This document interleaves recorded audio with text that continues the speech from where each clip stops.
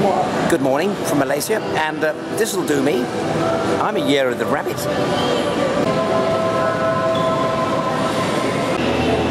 This is the Bukit Tinggi Shopping Centre.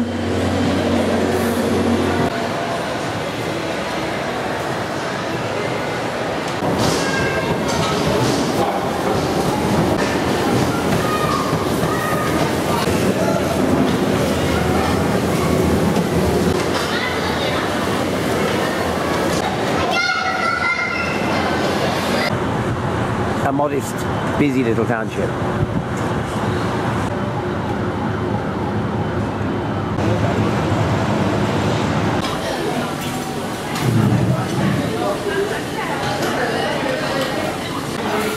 Coffee break with kopi and mocha.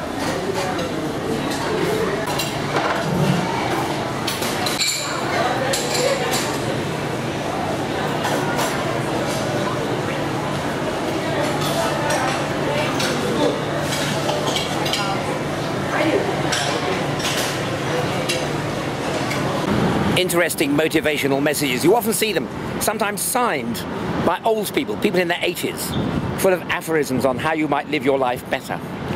It's uh, a very interesting, positive, and forward looking culture. Good to have kopi, which is the uh, kopi is the uh, traditional Chinese way of drinking coffee. Curiously made with uh, um, thick milk at the bottom, which slowly diffuses upwards, sometimes aided by the judicious use of a teaspoon. And um, the other, of course, mocha is the original coffee from mocha in Ethiopia, uh, a word sometimes now uh, hijacked by those idiots who put chocolate into the drink. But it's so historic and fascinating to drink it.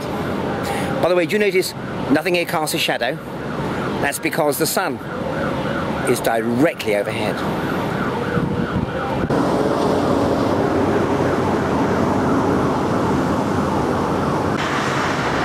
And you can't navigate by the sun when nothing casts a shadow. Yes, this is the little town of Klang. Klang. K-L-A-N-G, Klang. These oil palms, they're growing them here as a decorative feature, but they're the biggest curse and destroyer of rainforests anywhere in the world.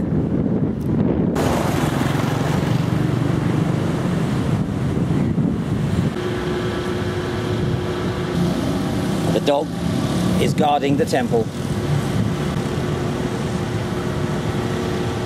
This area is called Bandar Botanik, um, the botanic quarter of it. Um, they've got a lot of interesting plants growing around in, in various roads, avenues of them. But seeing those uh, oil palms really does get one's goat. There are areas that I came to in Malaysia years ago, and now if you go back there, you see nothing from the highway to the horizon but oil palms. All of the rainforest, the indigenous species, wiped out in the short-term interests of getting some quick profit.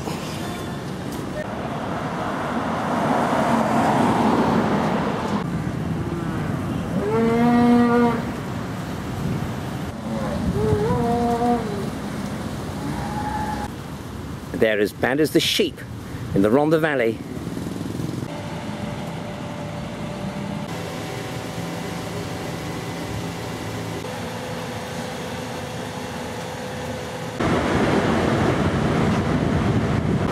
Malaysian language is fascinating. Bits of English, all sorts of languages brought in, and a lot of Arabic too. It's an Islamic country. And the greeting, Selamat datang, sounds quite like Salam alaikum in Arabic, doesn't it? So, discount. And what's wrong with that as a translation? Discount. It's what we all say. Have you ever heard anybody say discount? Even when I'm really trying to talk nicely for a special program. I don't think I've ever put the T on discount.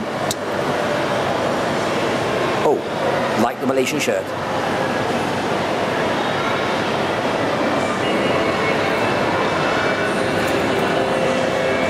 With some of the translations, you do have to look quite carefully. Sometimes they'll copy the graphic design and even the typeface of somewhere else. Big Apple. Old Starbucks.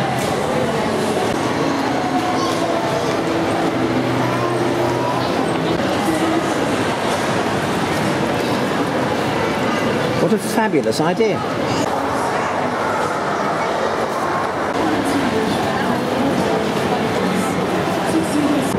This has worked really well.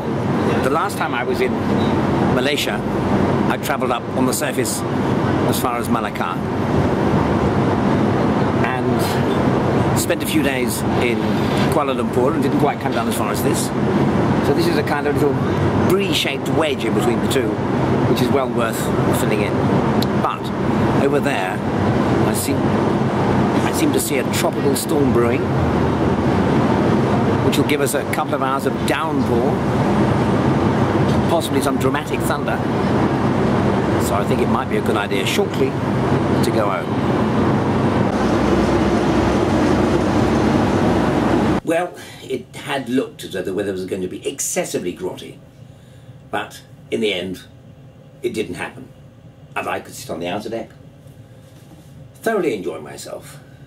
A round of smoked salmon and egg with a soup sort of capers and a little hint of horseradish on Polish rye bread, followed by two bananas. And that, I reckon, is all the metabolic intake anybody sensible should need.